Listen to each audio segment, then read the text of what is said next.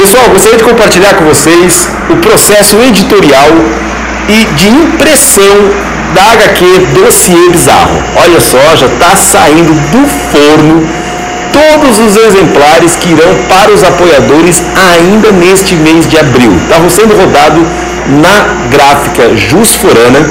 Olha só o cuidado que é feito todos os nossos materiais.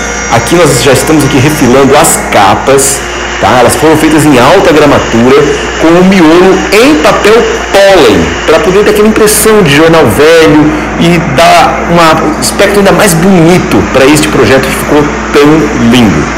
Olha que legal, galera. A produção aí, ó, a mil. Material já está ficando pronto.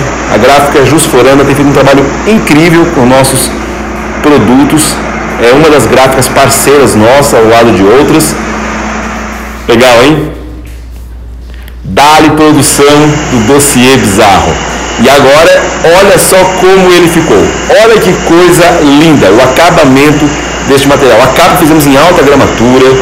Ó, as artes, papel pólen, esse amareladinho bonito que fica no material, além da textura ser muito gostosa. Ficou um quadrinho lindo. Quem perdeu a campanha pode comprar lá na Amazon ou aguardar agora para o dia 14 de abril, junto com o spin-off, que é o Hotel Cecil. E agora, tá aí. Dossiê bizarro logo entre nós.